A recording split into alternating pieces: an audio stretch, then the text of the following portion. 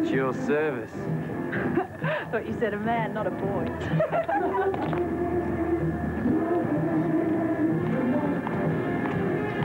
The disco at the Airmen's Club continued into the night. At approximately 9.50 p.m., Cheryl left the premises to look for a friend.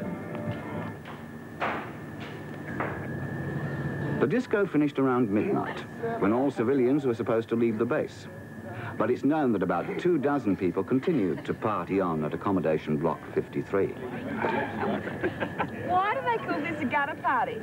Well, where am I sitting? On your bum.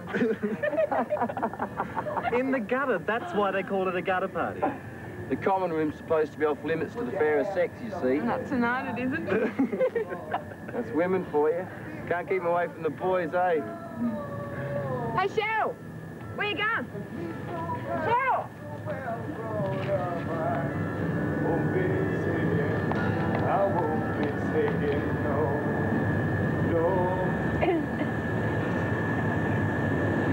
What's going on? She just ignored me. She's been acting strange ever since she got that phone call. By this time, it was 1 a.m. Unfortunately, details of what happened between then and the time of Cheryl's murder remain sketchy.